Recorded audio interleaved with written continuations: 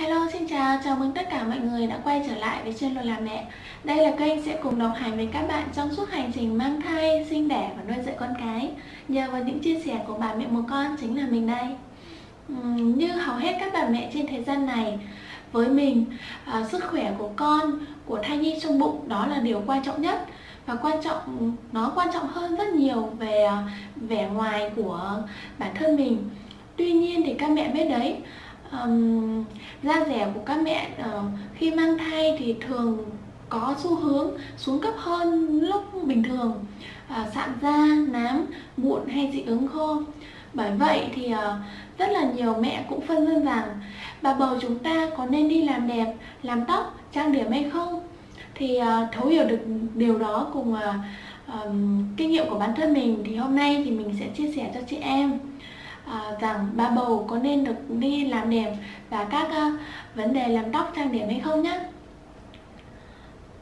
bởi vì sự thay đổi ờ, đột ngột của hormone cùng những nội tiết tế, nội tiết tố thay đổi trong cơ thể của mẹ cùng các vấn đề về ăn uống chế độ dinh dưỡng sinh hoạt khi mang thai thì trước những tình trạng này thì cơ thể mẹ da rẻ thì thường có những biểu hiện nám sạm mụn dị ứng hay là khô da.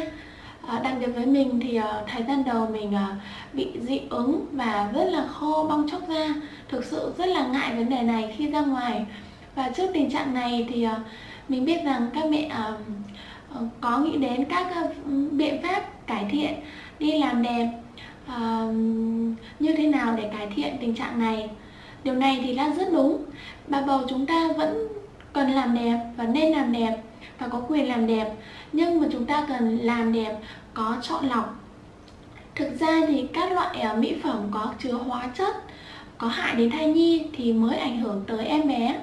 Trên thị trường thì à, hiện nay có rất là nhiều loại mỹ phẩm. Ờ, có những mỹ phẩm bạn à, khi bạn bình thường thì dùng ok, không sao cả.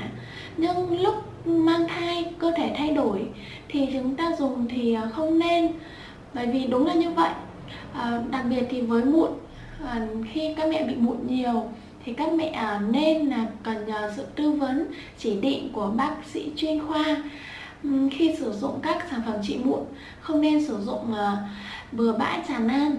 Và đối với vấn đề bị nám thì đây là ác mộng của phụ nữ mang thai. Do cơ thể sản sinh hàm lượng melanin hắc tố trên da trở nên rối loạn và các mảng da tối màu uh, bắt đầu xuất hiện và rõ rệt hơn. Các mẹ thì uh, khi mang thai thì uh, với uh, các uh, vấn đề về nám trên da thì chúng ta uh, hạn chế các vấn đề đến các thẩm mỹ viện spa chiếu tia laser như vậy thì không tốt cho thai nhi nhé và trong quá trình mang thai và cho con bú các mẹ không nên uh, tiêm chất làm đầy lên mặt hay là sử dụng botox gây mê hay các vấn đề về phẫu thuật thẩm mỹ. Mình thấy rằng nhiều mẹ à, vẫn đi phẫu thuật làm đẹp, thẩm mỹ làm đẹp. Điều này thì à, theo mình là không tốt cho thai nhi, bởi vì các chất đi vào đường tiêm thì dễ ảnh hưởng đến bé.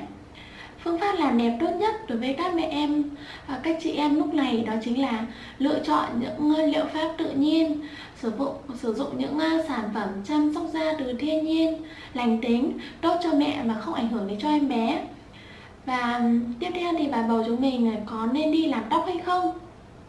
Cắt tóc, uốn nhuộm ép à, Với cắt tóc thì theo mình đó là vấn đề ờ, hoàn toàn không sao cả Không gây nguy hại gì cho um, sự phát triển của thai nhi trong bụng Cắt tóc thì đây là cách uh, nhanh gọn cho mẹ để giúp uh, giải quyết được tình trạng uh, um, rậm rạp tóc hay là tóc dài quá Ok, còn vấn đề uh, nhuộm uốn nhuộm hay là ép tóc thì theo mình đây là một vấn đề chúng ta cần phải quan tâm xem xét. Nhuộm tóc có an toàn hay không? À, đây là vấn đề được nhiều uh, mẹ tranh cãi được nhiều bàn cãi. À, bởi vì về sử dụng các uh, hóa chất ép nhuộm uốn tóc thì uh, um, có ảnh hưởng đến thai nhi.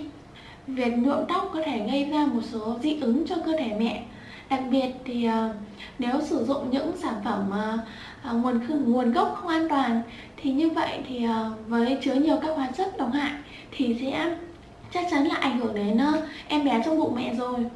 Và nếu các mẹ muốn nhuộm thì chúng ta có thể nhuộm bằng phương pháp tự nhiên các sử dụng các sản phẩm thuốc nhuộm thảo dược an toàn. Theo mình thì đặc biệt là trong lúc mới mang thai tức là 3 tháng đầu thì các mẹ không nên sử dụng các hóa chất uh, cho vấn đề nhuộm ép uốn. Và sau đó sau 3 tháng cho thai nhi ổn định phát triển thì nếu các mẹ thực sự muốn làm thì chúng ta cần uh, lựa chọn những uh, salon y tuyến uh, thuốc đảm bảo để uh, đảm bảo không chứa những chất uh, không có hại cho em bé và à, nên được có sự tư, tư vấn của những thợ làm tóc có tâm và hạn chế tối đa vấn đề à, hít ngửi và tiếp xúc đối với các hóa chất trong khi à, làm tóc. Và bên cạnh đó thì trong 9 tháng 10 ngày mang thai thì các mẹ có thể nên làm tân trang lại tóc của mình sau khi 3 tháng đó. Và thay vào đó thì các mẹ nên sử dụng những phương pháp chăm sóc tóc bằng cách ờ, bằng các sản phẩm gội xả dưỡng. À, chăm sóc tóc hàng ngày như vậy thì tóc cũng sẽ mềm mượt và tốt hơn. Uhm, đó là vấn đề làm tóc. Thì à, tiếp theo thì bà bầu chúng ta có nên trang điểm hay không? À, với chúng ta thì đặc biệt phụ nữ thì mỗi khi đi làm đi chơi đi ra ngoài thì không thể thiếu việc tô son hay một tí phấn phải không ạ? À, thế nhưng việc trang điểm khi ờ, mang bầu mang thai thì sao? Ba bầu trang điểm thì không có gì là xấu cả miễn là bạn chọn được những sản phẩm không gây hại cho sức khỏe. À, và nên ưu tiên những sản phẩm ít hóa chất và chiết xuất từ thiên nhiên lành tính. Và đặc biệt các mẹ nên tránh xa những loại hóa phẩm, mỹ phẩm chứa nhiều trì, đồng và sau mỗi khi ờ, make up thì các mẹ nên tẩy trang kỹ. Và theo mình thì ờ, trong thời gian mang thai thì các mẹ nên ờ, trang điểm nhẹ nhàng và tránh make dày đậm. Như vậy thì đến lúc tẩy trang rất là mệt phải không ạ? À đặc biệt nữa là vấn đề son môi sử dụng son môi. Thì các mẹ khi mang thai thì chúng ta nên ưu tiên những um, loại son mà uh, từ các nguyên liệu tự nhiên như mật ong, dầu dừa, ô liu làm son dưỡng. Và các mẹ biết đấy việc làm đẹp thì không chỉ là cho bản thân mình còn là để ờ, tôn trọng người xung quanh người đối diện nữa. Và khi ra ngoài đường thì không ai muốn nhìn thấy những người mà vẻ mặt nhợt nhạt hay là ờ, môi nhợt nhạt.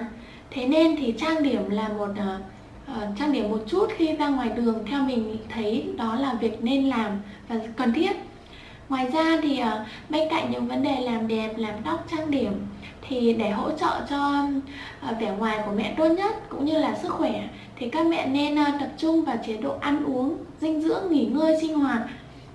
Đảm bảo đảm bảo có một sức khỏe khỏe mạnh.